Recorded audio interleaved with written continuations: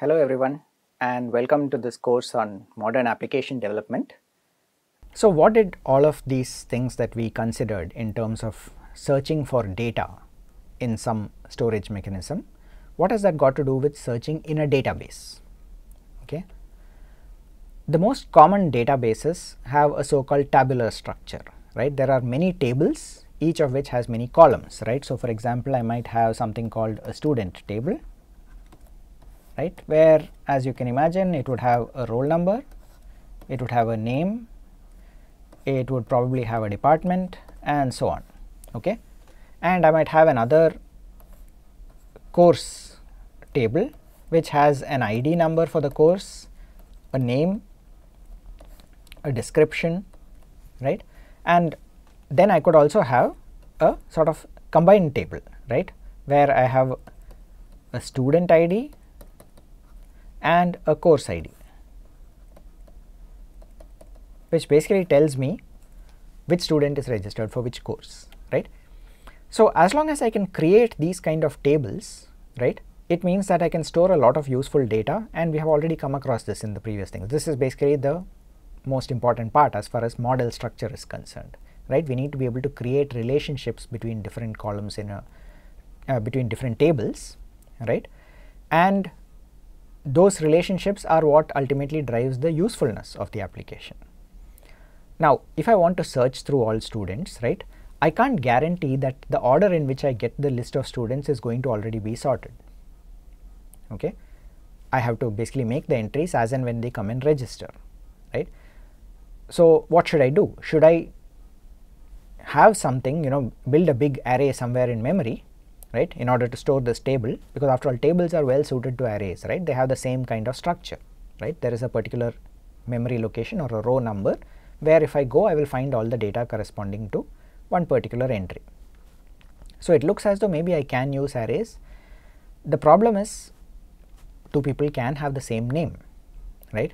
So I then need to find something that's unique. I assign a roll number. That's better because you know roll numbers are guaranteed to be unique. Okay. So what should I do? Should I just sort of you know index, uh, I mean just store the data as it is or I can create something called an index. Okay. An index is actually pretty much just a copy of the data present in one of the columns of a table, but now in sorted order. Okay. So, you basically take all the roll numbers and you create an index out of it, right. And what does that index do? It basically creates another copy, right. But now this is sorted and also has the appropriate links into the correct row in the original table right. So, let us say that I want I have an index on roll number and I want to search for a, the entry corresponding to a given roll number I just search in this sorted list I know I can do that in O of log n time and once I have the particular entry that I have found I just go to the actual table and pull out that row and get all the other entries right? The student's name the department and all the other information I need. So, building the right kind of index is very important to the performance of your application right? You need to know what kind of index to build and what is it that will change the behavior in terms of you know if you don't construct the right kind of index it can do pretty poorly in searching if you create too many indexes it might end up taking up too much space right so there are a lot of engineering trade-offs that come in over here now obviously right uh, we don't have the time to get into all of this in detail and in fact it's not even possible simply because you might not choose the exact same database that I recommend or that I have used in some application. You might have a different reason for finding something else. So the point is you should be able to look up documentation and find out more about it by looking for it. Okay, and a good example is the MySQL database. They in fact have a lot of documentation right online it's all available out there and they talk about the performance comparisons of different kinds of indexes okay in particular they consider two things something called a b tree and the other thing called a hash the b tree is basically like i said a variant of the binary tree right and is the most common kind of index okay so i would strongly recommend that anyone who's at least interested in you know building larger scale applications. If you're building a very small application, probably most of this doesn't matter. But the moment you want to go even to a few hundred entries, these things start to matter. Okay. So, and anyway, it's good practice to sort of know the tools that you're working with, right. So, if you are using MySQL, where should you look, right? And this is an example from that link that I just showed you. For uh, what we can see in MySQL, for example, or pretty much any indexed database is let us say I have a table in which I am searching. So, I want to do select star and the search condition is key column like Patrick percent. Okay. Now, what exactly does this search do? It search it will search through the database for all entries like let us say Patrick X, Patrick YZA, right? All those entries will match, but let us say PATTRIC will not match, right? Because it's a different name. Okay. So, the point is because of the fact that it is Patrick, you know, I know the beginning part of the name, right? I can do this kind of binary search in order to narrow down the elements that I need to look at in more detail. Okay, because I can say for sure that anything which does not start with a P can straight away be eliminated. Among those that start with E, I can eliminate things that don't have the A as the next letter, right? How do I do this? I basically go through the tree and narrow down the section within which I need to look. Okay, and because of the fact that it's starting from the first letter, right? I can actually take this entire tree and build up a specific subsequence which says, right, okay, this was the root, this was all things starting with P, right, this was all things with second letter A, this was all things with uh, T and so on, okay. And essentially, eventually I will come down and say, okay, you know, this is the subtree that I really need to be looking at, right, and I can discard the rest of it. Now, what happens if I have a query which goes something like this pat percent something else okay. Now this is a bit more tricky because what has happened over here is I can go up to PAT up to this point in the graph.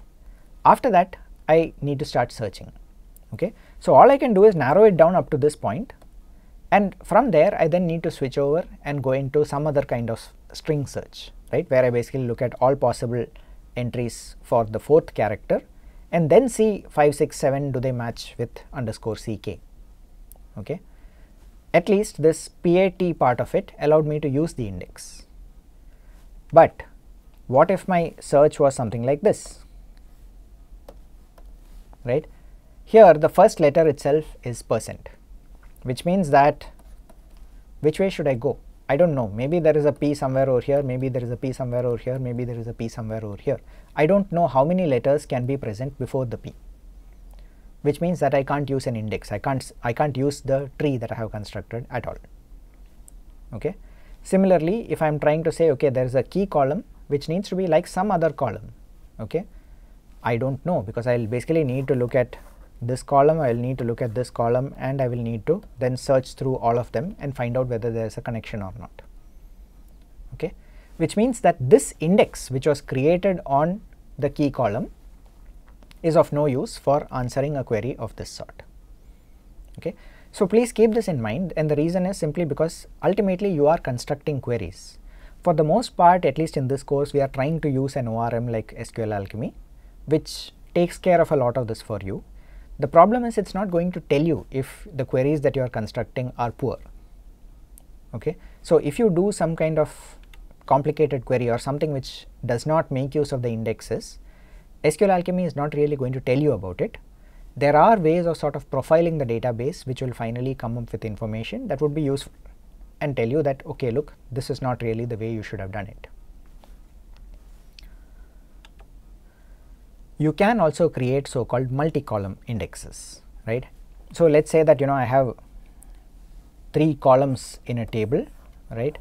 Or rather I have many columns right?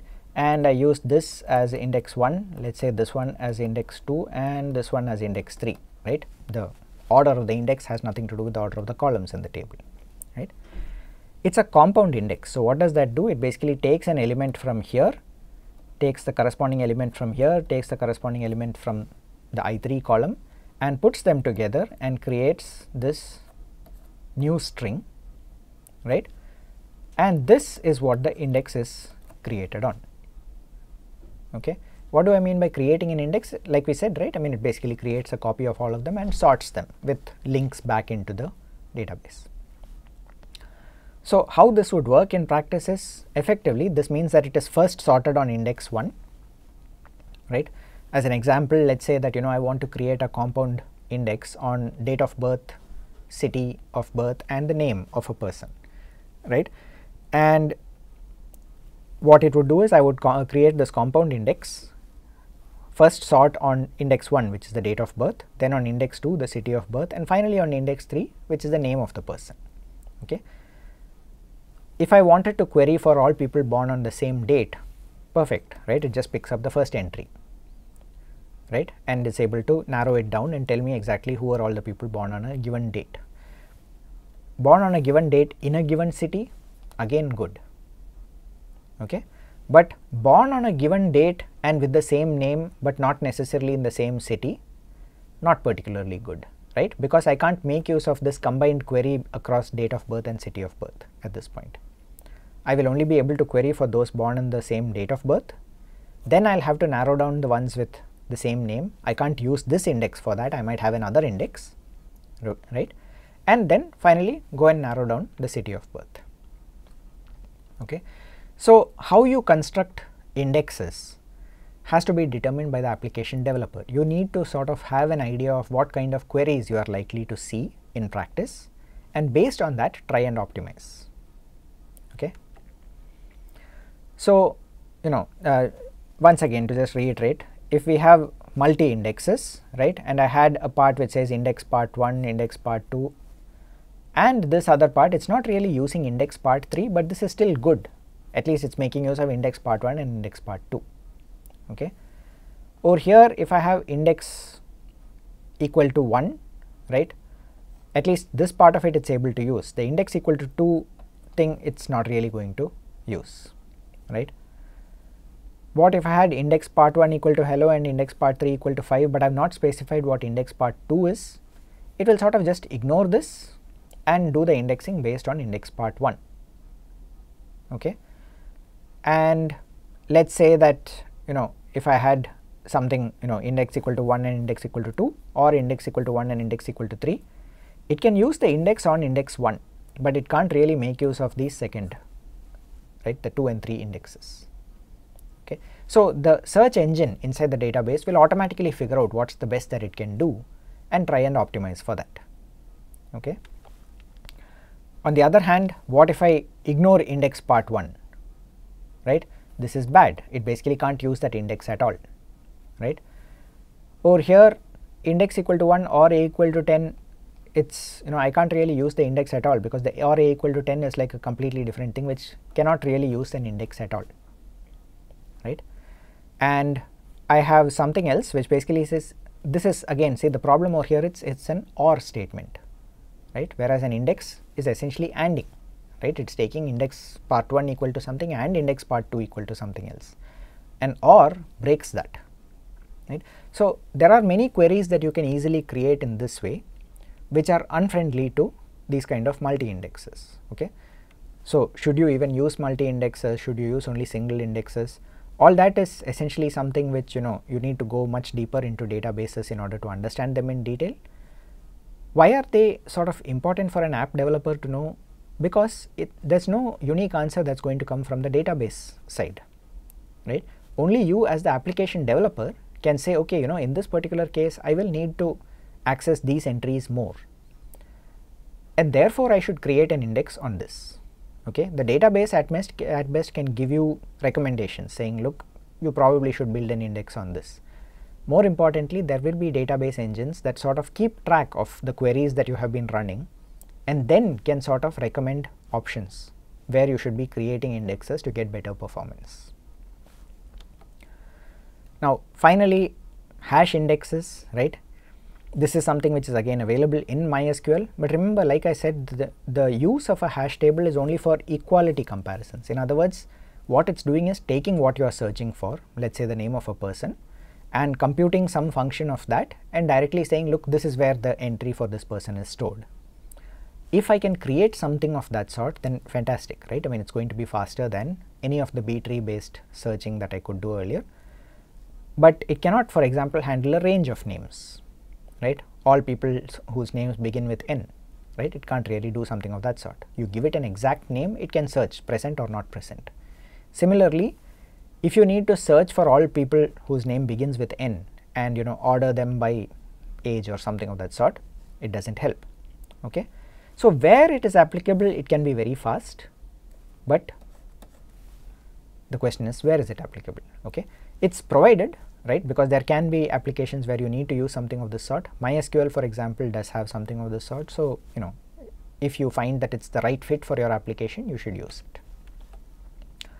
So, various databases have their own you know takes on query optimization. MySQL has a whole lot of information like I said you know what I just showed you. SQLite has something about optimization overview. Postgres in fact has you know even it's sort of a research database in some sense and they even have things like you know using genetic algorithms in order to optimize query structures okay? So these are all different possibilities that can be done and in fact is to some extent is the topic of research even now okay? A large part of databases are very well studied so there's not too much new happening over here but on the other hand there are places where you might be able to make some fundamental changes as well so to summarize setting up the queries properly can have a huge impact on the application performance right? And building proper indexes is crucial to search. Now you might think that you know I'm only going to build small apps but you don't know at what point it stops being small and starts being significant right? Because even something with a few hundred entries in a database can get really badly impacted if your indexes and your data storage mechanisms are bad okay. The moment you hit a few thousands right already log to base 2 of 1000 is 10 which means that either you are taking a thousand steps to find something or you are taking only 10 steps. Okay. So you have a factor of 100 difference okay in terms of what you are likely to spend in searching for something. That's a very rough estimate but still you know you get the idea. So don't sort of underestimate the value of creating the right kind of indexes. Now creating too many indexes on the other hand is a bad idea.